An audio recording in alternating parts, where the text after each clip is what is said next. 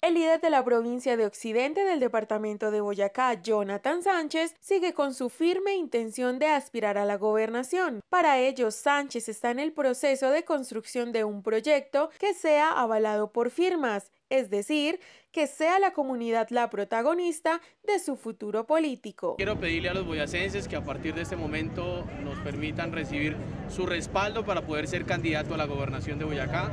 Yo tomé tal vez el camino más difícil que era buscar el aval para la gobernación de Boyacá. A través de las firmas, eh, la registraduría nos pide que mínimo 50 mil boyacenses deben de firmar para que yo pueda hacer y nuestro movimiento independiente pueda presentar nombre para la gobernación de Boyacá. Hoy tenemos una gran posibilidad de ganar, pero primero tenemos que hacer la tarea de la recolección de firmas y por eso es el llamado a la unidad del departamento de Boyacá, a construir un departamento unido, sin polarización y sobre todo un departamento que se convierta eh, en un escenario de competitividad del orden nacional. Como punto de partida, el exdiputado dio a conocer semanas atrás el logo oficial del movimiento ciudadano Juntos es Momento, estrategia con la que se plantea el propósito para buscar ponerse al frente de Boyacá en el periodo 2020-2023. De igual manera, el precandidato ofreció una rueda de prensa y dio a conocer a los medios de comunicación el eje central de la propuesta, la cual se basa en generar la triangulación